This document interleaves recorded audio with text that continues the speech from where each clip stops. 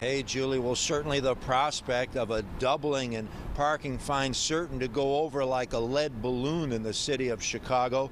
A lawyer suing the city on behalf of a group of Chicago motorists arguing that the cost of your parking ticket or fine for not having a city sticker could soon double after a Cook County Circuit Court ruling last week. Drivers owe the city at least $275 million in unpaid city sticker tickets since 2012. Black neighborhoods are hit with city sticker tickets at a higher rate than any other part of the city.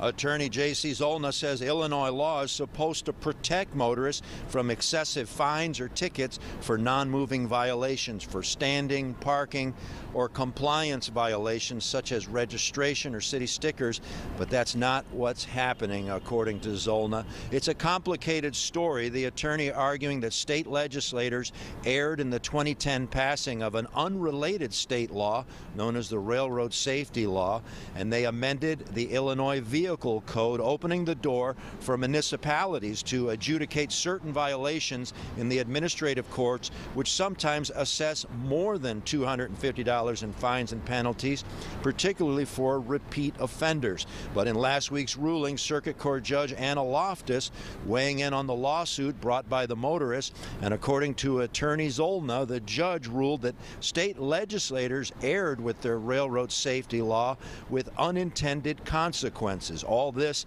as City Hall, according to the attorney, kept raising the cost of tickets dating back to the last administration. This all started in 2012 when Mayor Rahm Emanuel and then City Clerk Susana Mendoza increased the fine for city sticker tickets from $100 to $200 with the additional $200 penalty.